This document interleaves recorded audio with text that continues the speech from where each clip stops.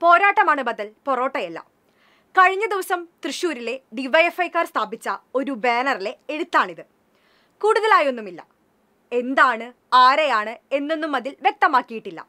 എന്നിട്ടും കൊള്ളേണ്ടിടത്ത് തന്നെ കൊണ്ടു. ജോഡോ യാത്രക്കാർക്ക് മനസ്സിലായി അത് തങ്ങൾക്കുള്ള കൊട്ടാണെന്ന്. അവർ നൈസായി ആ ബാനർ അങ്ങ് എടുത്തു മാറ്റി. ദുരവസ്ഥ തന്നെ. അപ്പോൾ അവർക്ക് തന്നെ ഒരു തിരിച്ചറിവുണ്ട്.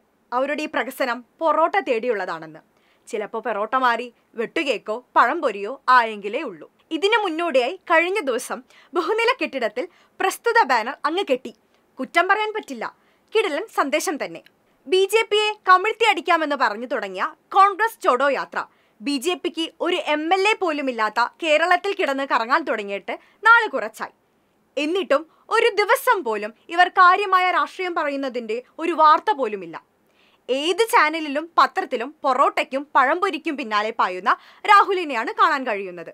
വെറുതെ പറയുന്നതല്ല രാഹുൽ ഗാന്ധിയുടെ ഭാരത് ജോഡോ യാത്രയിൽ ഉടനീളം ശ്രദ്ധയാകർഷിച്ചത് രാഹുലിന്റെ ഭക്ഷണപ്രിയമായിരുന്നു. രാഹുലിന്റെ തട്ടുകട സന്ദർശനങ്ങൾ മാധ്യമങ്ങൾ വലിയ വാർത്തയായി നൽകുകയും ചെയ്തിട്ടുണ്ട്.